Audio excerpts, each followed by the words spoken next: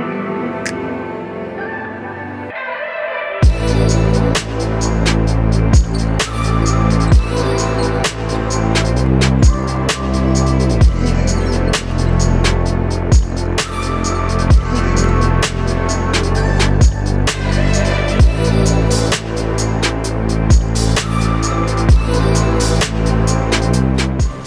įspūdis žaidybinė prasme yra neblogas, bet vis dėlto Eurolygai reikalingos pergalės, tai to ir trūksta.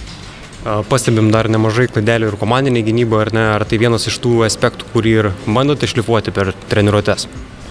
Taip, e, atrodo, per treniruotės viskas gaunasi, kai viską darai lėčiau ir, ir daugiau laiko yra aiškinimams.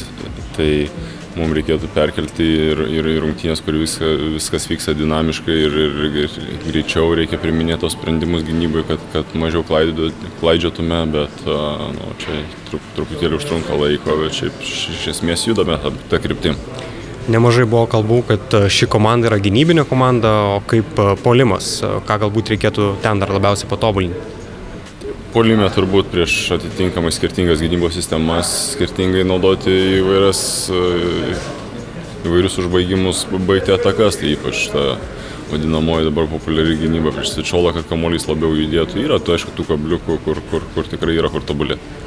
Antradienį laukia ypatingos rungtynės su Virtusu, tai bus pirmos rungtynės namuose ir dar vienas įspūdingas dalykas, jog bus pakelti Paulius Jankūno marškinėlį į palubės. Ar jaučiat, jog tos rungtynės bus neįlinės, kitokios?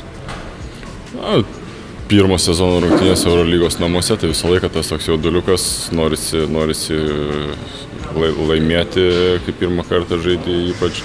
Tai dėl Paulius marškinėlio, aišku, čia jam labiau gal jauduliukas, o mums, aišku, kažkiek, kažkiek yra didesnė šventė, nes ne, kiekviena, ne kiekvienais metais netgi kyla tai, tie marškinėliai. Kalbant apie Paulių, galbūt teko jau su juo pakalbėti, pajausti jo tą jauduliuką, ką jis kalba prieš tas rungtynes.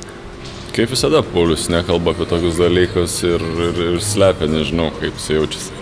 Dviejos rungtynės bus šią savaitę, kiek svarbus tas fanų palaikymas ir tos pilnos tribūnos čia Žalgerio arenoje, galbūt ir a, komandos naujokam jau teko papasakot, kasgi čia laukia dažniausiai Žalgerio arenoje. Tai manau, kad jie visi yra matę ir nepaslaptis, e, kokia būna atmosfera Žalgerio arenoje. Ir ypač sakau, kad ir kad ir sezonas prasidėjo dviem pralaimėjimais, bet turbūt fanai yra nusteikę optimistiškai ir, ir norint, kad prasidėtų tos pergalės, tai mums reikia jų aktyvesnio palaikymo, kad būtų visiems lengviau.